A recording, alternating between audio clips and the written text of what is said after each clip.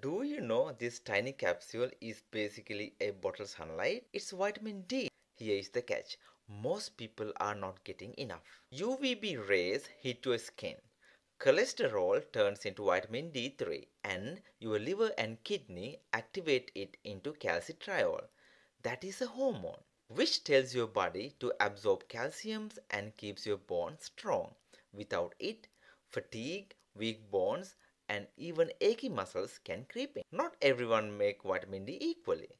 Darker skin meaning more melanin which produces low vitamin D from the sun.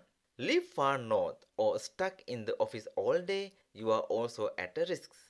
Older adults, people with obesity or gut issues like celiac disease or Crohn disease, same story. Study shows black and South Asian populations in northern countries are the most likely to be deficient. As you all know, one of the common sources is sunlight.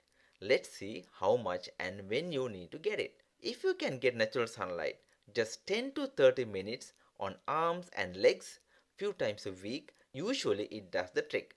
Best time is mid-morning and early afternoon. The best option is food sources. Fatty fish like salmon, sardine and even egg yolk and fortified milk are your friends.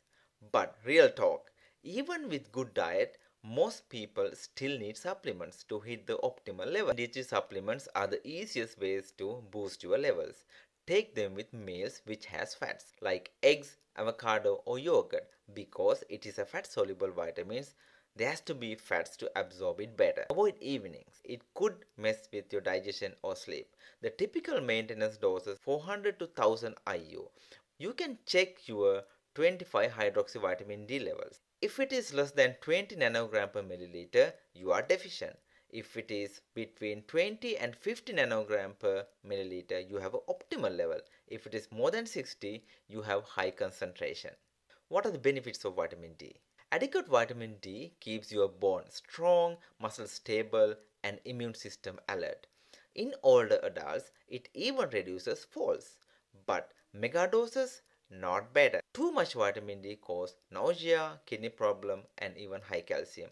Balance is the key. Recent study shows vitamin D deficiency spikes in northern winters, especially for people with darker skin. If sun and food is not enough, supplement is your simple, effective solution. Let's recap. Get safe sunlight. Eat vitamin D rich foods. Salmon, eggs, fortified milk. Take supplements if you are at risk. D3 with fatty meal in the morning. Vitamin D is not just a vitamin. It's your secret sunshine superpower. This is NutriFocus with RD Prasad.